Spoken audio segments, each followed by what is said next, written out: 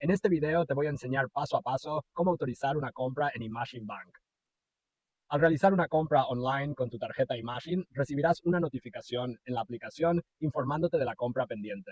La notificación mostrará detalles de la compra como el importe, el comercio y la fecha. Abre la aplicación Imagine en tu dispositivo móvil. Si no has iniciado sesión, deberás introducir tu nombre de usuario y contraseña. Busca la notificación de la compra pendiente en la pantalla principal de la aplicación.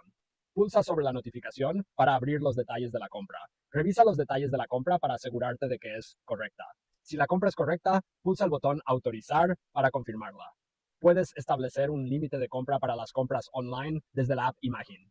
Esto te ayudará a controlar tu gasto y evitar compras no autorizadas. Para establecer un límite de compra, ve a la sección Tarjetas de la app y selecciona la tarjeta que deseas configurar.